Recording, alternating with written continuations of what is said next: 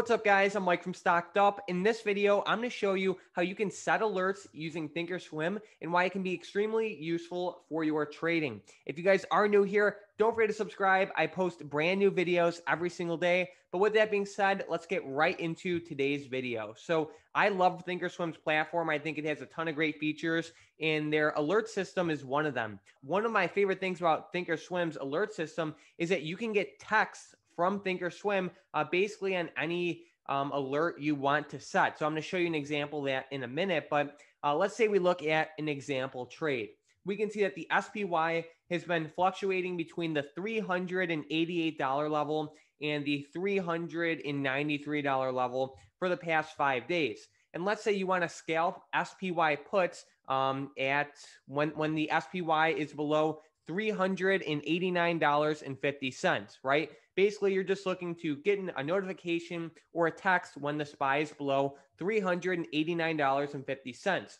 Now, here's the thing not everyone has the time to just be staring at charts all day. You know, people have work, and, you know, even if you don't have work, you, you don't want to be staring at charts all day long. And this is where alerts can become very useful. So, what we can do is let's say you just want to get texted or you want to push notification when any stock hits a certain price. What we could do, we could go over to the SPY, we can right click the chart, click create alert, and then I'm going to say for this example, uh, send me a text and give me a push notification when the SPY is at or below $389.50.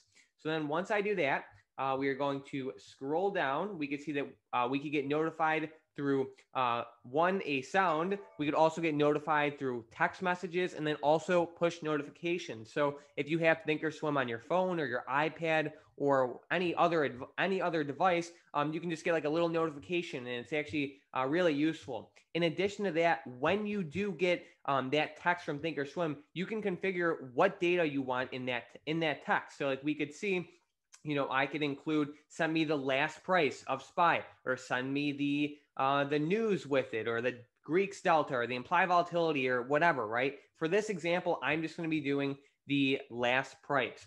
So if I continue to scroll down, um, we can see the options down here. We have an option to uh, submit this alert right now. We could have it submitted in an hour from now. We could have it expire. I think that's pretty straightforward. But from this point, I configured an alert that will text me uh, play a sound, and then also send a push notification to my devices if SPY is below $389.50. From that point, I just click create, and then there it is. It's actually very simple. If if and when the SPY gets below $389.50, like I said, I'm gonna get a text. I'm gonna be notified through sound and then also a push notification. Let's say you want I don't know, let's say you want an alert for a certain option, right? You're an options trader. And let's say we're looking at the 387 strike uh, SPY puts that expire on February 24th. Right now, they're trading for about $134. And let's say you want to ride momentum um, if it goes up to $200. What we can do, we can right click on the chart, create alert, uh, send me a text when this specific option is at or above $200, right? We do that. And then we scroll down and then you could just configure what you want. Let's say you don't want a text, you just uncheck these marks or, you know, you can configure it however you want. And it's pretty straightforward, like I said, with the um, when you want it submitted and you just click create like that. So um, yeah, it's very easy to use this system. Um, I love how you can get text. Not too many other brokers that I know of uh, allow you to get texted with alerts. So I hope this video helped everyone. If you did learn something, please consider subscribing. Uh, if you have any questions, let me know in the comments down below. But other than that, thanks for watching.